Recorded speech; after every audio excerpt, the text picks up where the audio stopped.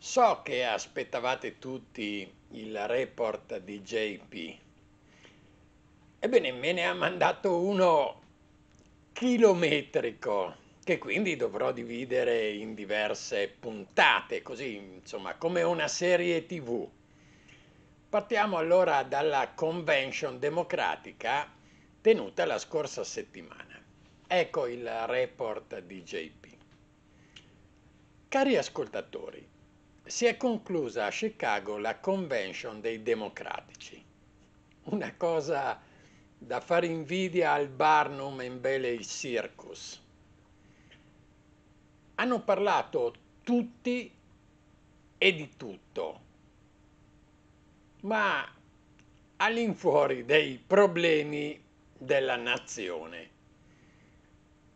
Allora, come sapete, la convention eh, dura tre giorni, quindi JP ecco, ci farà chiaramente un sunto, insomma si riferirà soltanto ai principali interventi dei vari oratori. Al presidente Biden hanno dato un po' di tempo e subito dopo lo hanno caricato sull'aereo per portarlo nel sud California per una vacanza di due settimane naturalmente da un suo amico multimiliardario finanziatore dei democratici. Una vacanza ci voleva perché era ormai un mese che era tornato dalla sua ultima vacanza.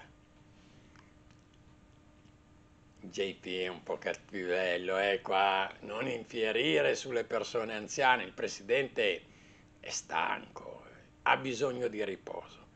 E oltretutto lui, cioè a lui della convention, non gliene frega niente. Vabbè, poi hanno parlato i Clinton. La Hillary molto impegnata, mentre Bill si vedeva che non gliene fregava niente di tutto questo. Nonostante l'età, era molto impegnato a salutare le signore e le signorine presenti alla convention. Tremendo JP. Eh, JP lo sai che certi vizietti non si perdono neppure con l'età, sono connaturati. Ma guarda comunque JP che io non lo biasimo, eh, perché con una moglie così, insomma, cercare qualche diversivo mi sembra naturale. Ma sentite adesso perché JP comincia a farvi divertire, o meglio, la convention comincia a farvi divertire. JP si limita a raccontare quel che è accaduto. Sentite. Poi parla Sanders, Bernie Sanders, sapete l'esponente della supersinistra che urla dicendo che basta con i privilegi per i super ricchi. È ora che paghino le tasse queste persone. Termina il suo intervento, il suo discorso straplaudito da tutti i delegati che gremiscono proprio gli spalti dello United Center dove giocano i Chicago Bulls. E si prosegue come da programma. Quindi è lo stesso Sanders che presenta coloro che sono iscritti a parlare dopo di lui. E chi sono? Alcuni miliardari del Partito Democratico che salgono sul palco e vengono abbracciati dallo stesso Sanders. Tutto questo è normale, miei cari amici, stiamo parlando dei democratici.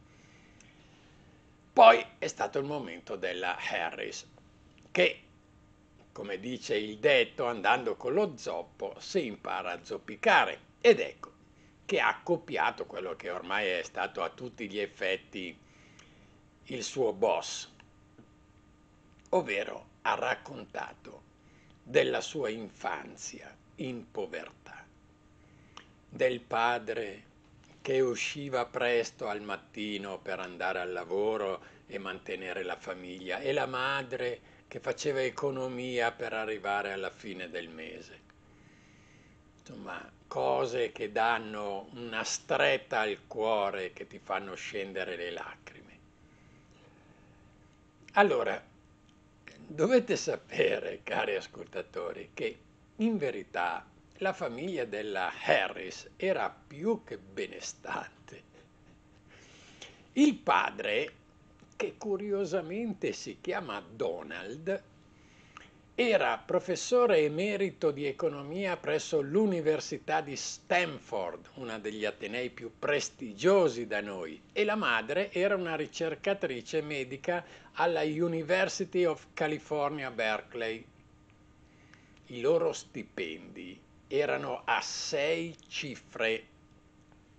E allora, scusate, ma questa parentesi, non che non credessi a, a JP, eh, ci mancherebbe altro, ma ho voluto, per mia curiosità personale, fare una ricerca su internet per vedere quanto guadagna un professore della Stanford University e ho trovato che la media delle retribuzioni di un professore compresi premi di risultato, commissioni, bonus e partecipazione agli utili. Insomma, la media è di 190.478 dollari l'anno.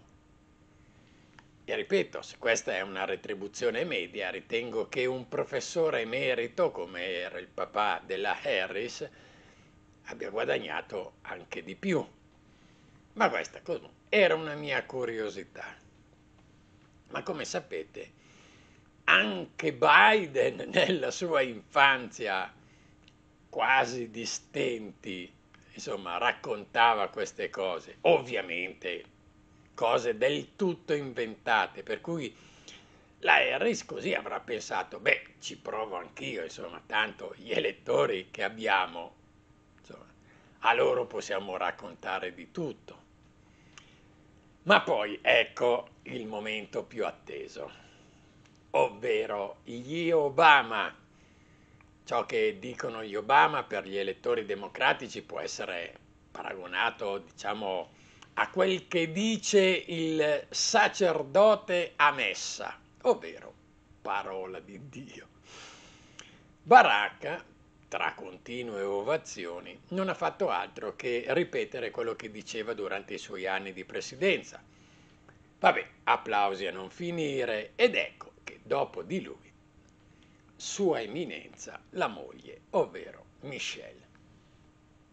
Michelle racconta del padre che le ha sempre detto, devi sospettare di chi ha di più nella vita, di chi possiede più di quello che gli serve.